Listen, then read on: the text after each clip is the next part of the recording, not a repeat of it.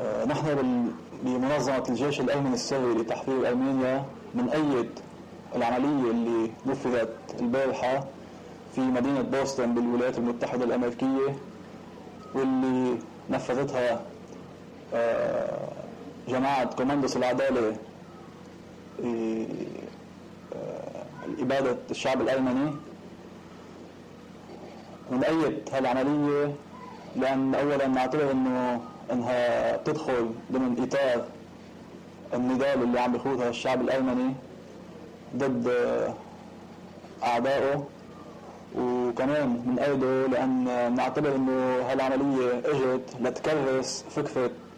فكرة ال- الكفاح المسلح اللي كانت منظمة الجيش الأيمن السري لتحرير أرمينيا من آه، روادها منذ سنة 1975 ولكن إلى جانب هذا التأييد التأييد للعملية اللي نفذت ضد القنصل الفخري في مدينة القنصل الفخري التركي في مدينة بوسطن آه، بنقول إنه مش كافي إنه آه، أن تنفذ عمليات عسكرية ضد أهداف آه، دبلوماسية تركية مشان تكون يكون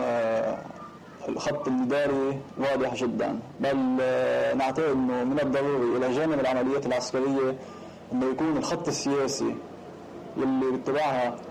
المنظمة اللي بتنفذ العمليات إنه إنه يكون هالخط السياسي واضح وإنه يحدد بوضوح آه، اعداء الشعب الايمني واستراتيجية النضال والتكتيك المرحلي والتحالفات والأصدقاء والأعداء. هذا نعتبر إنه هال هالتوضيحات هدول كثير مهمين في المرحلة الحاليه وفي كل المراحل.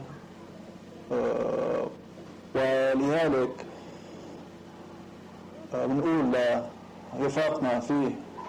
كوماندس العدالة أنه يجب عليهم عليهم أن يوضحوا هذه الأمور وهذه النقاط. وكمان بننبه آه، بننبههم أنهم يكونوا حذرين آه، من ما يستغلوا من قبل أطراف ألمانية رجعية